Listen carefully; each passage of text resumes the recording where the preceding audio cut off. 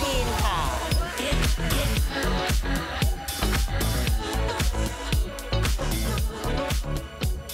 แบ่งเป็นมังกี้ดีลูฟี่จากวันพีซครับผม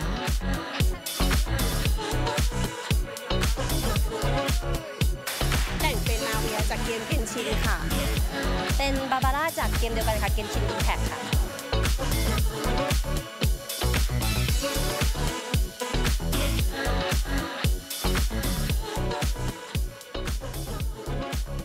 ทำท่าให้ดูให้เห็นเลยนะคะ ว่าแต่งแล้วเป๊ะปังเหมือนต้นฉบับขนาดไหนเปิดภาพให้ดูเลยด้วย นี่เป็นเพียงส่วนหนึ่งของชุดคอสเพลย์ค่ะ ที่ทรงพล หอมพนา ตัดเย็บเอง ลองผิดลองถูกมาตลอด 12 ปีนะคะ จากหน้าใหม่เนี่ยกลายเป็นคอสเพลเยอร์แถวหน้าของไทยค่ะ ในนาม CMYK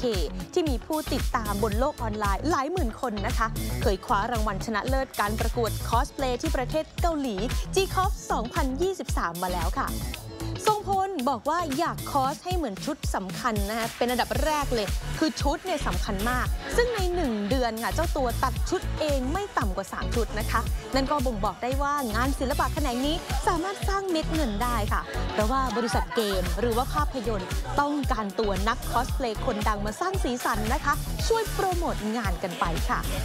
ส่วนคนนี้เป็นอีกคนหนึ่งที่เป็นตัวท็อปของไทยเลยนะคะ ผมสีเทาดอกเลาแบบนี้ ดังไกลถึงต่างแดนค่ะ ผ่านทุกช่วงในวงการนี้มากกว่า 17 ปีนะคะ ชื่อว่าเทมเมลโรสค่ะ หรือว่าสรณะขุนพลพิทักษ์เขาบอกว่าโลกของคอสเพลย์ยุคนี้เปิดกว้างขึ้นนะคะ นักคอสเพลย์คนไทยก็มีความสามารถไปคว้าชัยต่างประเทศมาก็หลายเวทีค่ะ จึงเป็นโอกาสดีที่ควรผลักดันศิลปะแขนงนี้ เพื่อต่อยอดขับเคลื่อนเศรษฐกิจของประเทศเราค่ะ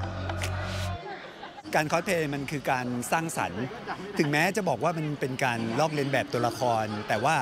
ในการจะลอกเลียนแบบจากตัวละครที่เป็น 2 มิติหรือ 3 มิติอะไรพวกนี้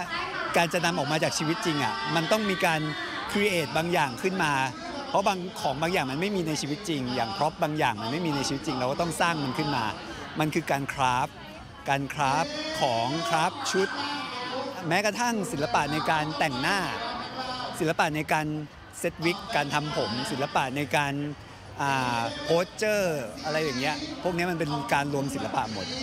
เงินหลักๆ จริงๆอะอาจจะได้มาจากของงาน official ก็คือบริษัทเกม บริษัทหนังที่เขาอยากจะได้แบบคอสเพลย์เข้ามาสร้างสีสันเขาก็จ้างเราไปทุกคนผู้คนสามารถที่จะทำอาชีพกับคอสเพลย์ได้นะครับอย่างที่ผมบอกไม่ว่าจะเป็นงาน official หรือว่างานตัดชุด หรือทำวิกอย่างเงี้ยก็มีร้านทำเฉพาะ หรือว่าทำพวกพ็อปพวกอาวุธ พวกอะไรพวกนี้ก็มีร้านเฉพาะนะครับผมก็เลยเกิดอาชีพขึ้นมา แล้วตอนนี้ก็คือเรียกได้ว่าเป็นเขาเรียกว่าอะไรอะมันมันแบบงหมุนหมุนหมุนหมุนเวียนของเงินในในในสังคมเนี้ยหรือว่าในในงานอดิเรกเนี้ยมันค่อนข้างที่จะเติบโตเยอะเลยครับ นอกจากเกิดอาชีพที่เกี่ยวกับเครื่องแต่งกายแล้วค่ะ ช่างภาพที่รับ ถ่ายรูปคอสเพลย์โดยเฉพาะก็ได้รับความนิยมตามมาติดๆนะคะ เพราะว่าต้องมีเทคนิคเฉพาะเข้าใจคาแรคเตอร์ตัวละครได้ดีถ่ายยังไงให้เหมือนที่สุดนะคะ แต่ว่าที่เห็นต่อคิวยาวในงาน CAF 2024 ก็มีบูธรับแต่งหน้าคอสเพลย์นี่แหละค่ะ ช่างแต่งหน้าต้องมีประสบการณ์มากนะคะ เพราะว่าในแวดวงช่างแต่งหน้าเขายกความยาก ให้กับการแต่งหน้าคอสเพลย์เป็นอันดับสองรองจากการแต่ง drag เลยล่ะค่ะ เป็นสำหรับช่างคอสเพลย์นะคะ ก็อาจจะต้องใช้ทักษะประมาณ 1-2 ปีค่ะ ทุกคนสามารถที่จะแต่งหน้าได้หมดเลยค่ะ เราก็จะเริ่มจากว่าตัวเราเองก่อนที่แบบฝึกฝนบ่อยๆ ใช้ประสบการณ์ แล้วก็ถึงจะเริ่มมาแต่งให้ลูกค้าท่านอื่นค่ะ ตามเทรนด์เราว่า อ่าอนิเมะเรื่องไหนที่กำลังมาแรงอะไรเงี้ยเราก็จะทดลองแต่งตัวหน้าตัวเองก่อนแล้วค่อยไปแต่งหน้าให้ลูกค้าหรือว่าคนที่สนใจที่จะมาจ้างเราแต่งหน้า เพราะเรามองว่าคอสเพลย์สามารถหารายได้เสริมได้ค่ะ แล้วก็เราให้บริการกับลูกค้าที่อ่าอยากมาแบบว่ามาแต่ตัว แล้วก็เดินเข้ามาแล้วก็สามารถที่จะเช่าชุดคอสเพลย์แล้วก็แต่งหน้าด้วยค่ะ ก็เป็น feel แบบว่า one stop service ค่ะ นอกจากเปิดโอกาสให้เหล่าคอสเพลเยอร์นะคะทั้งมืออาชีพ และมือสมัครเล่นได้ออกมาอวดฝีมือสร้างสรรค์ผลงาน ผ่านการคอสเป็นตัวการ์ตูนจากเกมจากแอนิเมชันต่างๆ แล้ว งาน Cosplay Art Festival